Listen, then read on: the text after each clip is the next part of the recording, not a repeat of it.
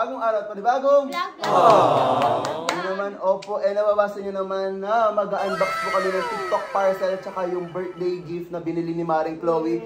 Pero bago pa yun, opo, eh, mapakita po muna yung pagbili mismo nung... Eto, nakikita nyo yan, binili po namin yan sa mall ni Maring Chloe nung after nung birthday niya. And ngayon pa lang namin siya ma-unbox.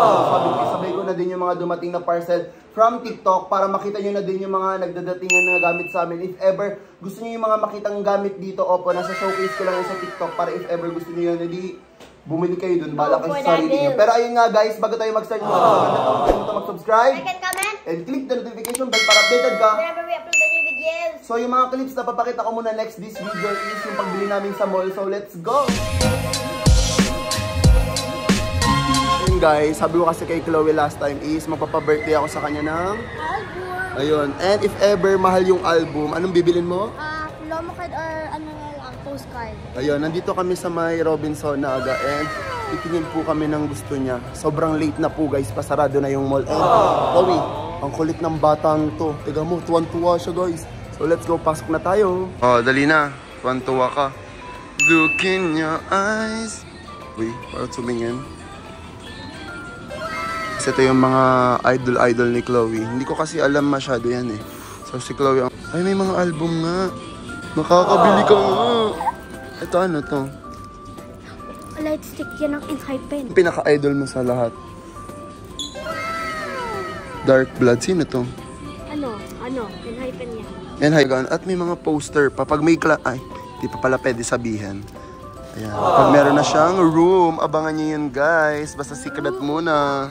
Ayan. May iba siyang hindi alam. Siyempre, hindi naman lahat. Alam ni Maring Chloe. Oh, mamili ka na. Tuwan-tuwa ka. Sana hindi kami makopyright sa song. Oh my God. Ayan. So, update na lang namin kayo, guys. Pag nakabili, ay may nakapili yung album na gusto niya at mga photocard na ipapabili niya sa akin. Oh my God, guys. Twice pala to. So, mabibilan ko nga siya ng album. Sino yan? Hmm, Hindi ko kilala yung mga sinasabi niya, guys. Huwag na, para may pera ka pa. Saya na, tuwan-tuwa si Chloe, nabila na po siya ng mga K-pop, K-pop niya. So, may tuwan-tuwa pong bata. And mamaya, unbox po namin to. Ayan. Sayaw siya ng sayaw kasi nakabili na po ng album na gusto niya. Ayan na. Uh, are you happy? Ano sabi mo kay Tito? Thank Mom. Eh, love you. Nabudol na naman po ako ni Chloe. And kung ano-ano na naman po. Susunod din to lagi na to magpapabili dito ng album sa Maynaga. Ayan, so... Excited ako ulit ako sa birthday. Grabe naman, yan na lagi ang gusto mo. Iba naman. So, anong gagawin natin next? Kakain! Saan tayo kakain? Ah, Jollibee na lang. Ayoko na ng Jollibee. Ikaw. Maghanap tayo. Try natin sa food court. Ayan. And, update na lang namin kayo guys pag may nahanap na po kaming kainan. Kumakain na kami ngayon ni Maring Chloe and. Ayan, kakain pa lang pala kasi umorder kami. And dapat sa Jollibee kami, kaso nga lang ang dami pong tao lagi pag Jollibee talaga. So, sa food court na lang po kami. And may service naman kami. Ang binili lang po talaga namin dito po, ang pinuntahan po namin mismo is itong album ni Maring Chloe na tuwan-tuwa ang bata. Kasi sabi ko wag niya munang buksan kasi alis ako mamaya pagdating sa bahay. So bukas namin i-unbox. Dito na lang natin yan. Wag na, bukas na. Excited, excited show. So abangan nyo din guys. Yung binili niya is twice tsaka isang Enhypen. Twice, guys. Album. Tapos yung Enhypen postcard. So abangan nyo na lang guys yung pag-open, opo. So gutom na gutom na talaga ako and sabi ko kain muna kami ng siomay habang hinihintay po namin yung magiging mismong pagkain namin. So, kain tayo. Oh, ang tuwan-tuwang bata kasi may album. Grabe guys, hindi ko alam may extra rice pala yun. Ayun, oh, ang dami, hindi ko alam. So ito po yung kay Maring Chloe. Nakasisig siya, so kakain na muna kami. And ayan na nga guys, nakita nyo na yung pagbili namin ni Marie Chloe sa mall mismo at i-unbox na namin mismo, nasa gilid na siya. Actually, nabuksan na siya ng isang araw and hindi pa naman nakita lahat ni Marie Chloe. So ang gagawin is, ipapakita ko mismo sa inyo kasi ito ata yung first album ni Marie Chloe sa K-pop and di ko alam kung anong tawag dito. Poster card. Basta mga poster card. So ayan guys, this album is, ano siya? Ready, Ready to, to be. be. Sino to? Twice. Nasa Twice, sakto guys, kaka-concert lang ng Twice and nabasa ko nga to, ready to be, ayan. So buksan po natin ngayon, oh my god.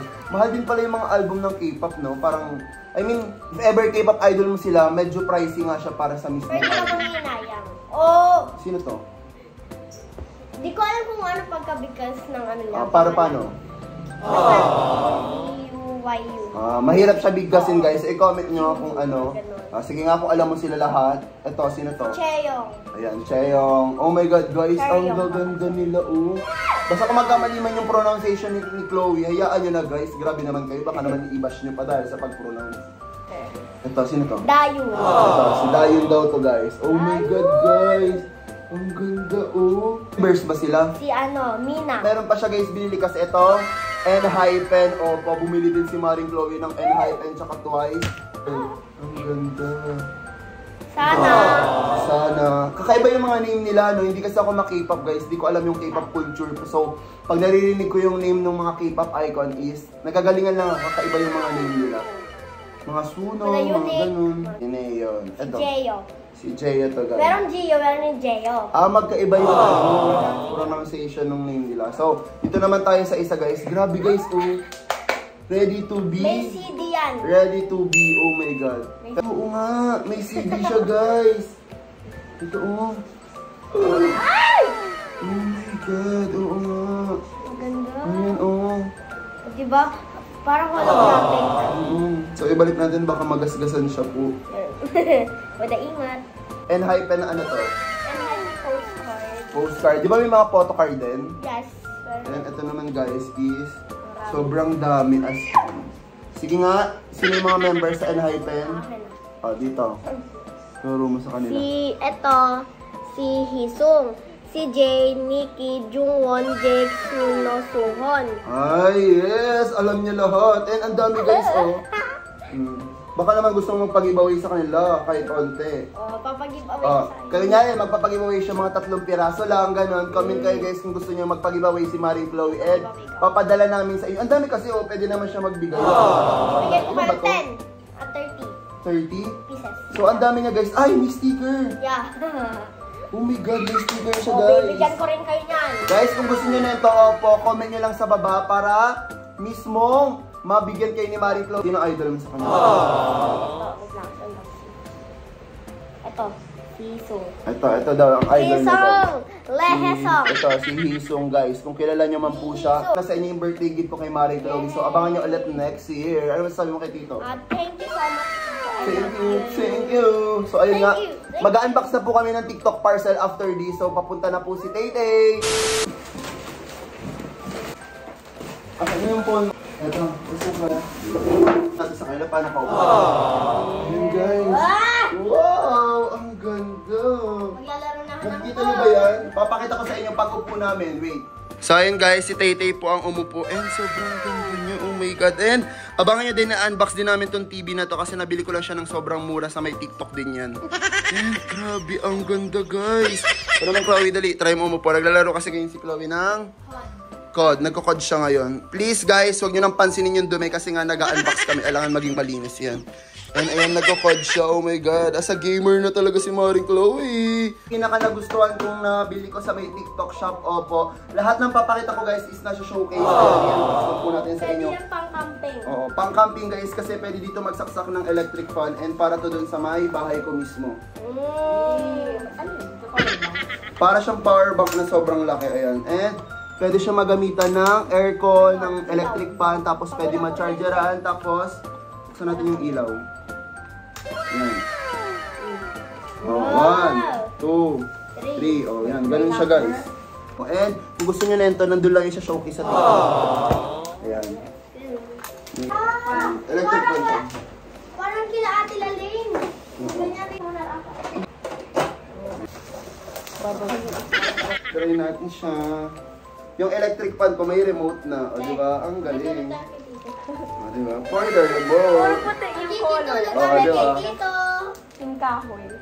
Pinapakita ko lang isa-isa dito sa inyo para makita nyo yung mga parcel na dumadating sa akin lagi dito sa bahay.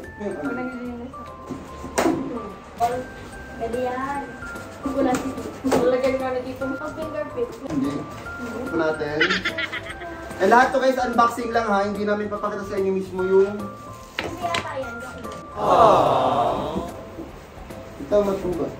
Yung TV, for the TV, oh my God! Nga, kasi nga, tiki-tiktok ko na dito mismo. So, diba natin sa dito. Rice cooker din kami dumating. O, di ba, puro na siya appliances. pambahay.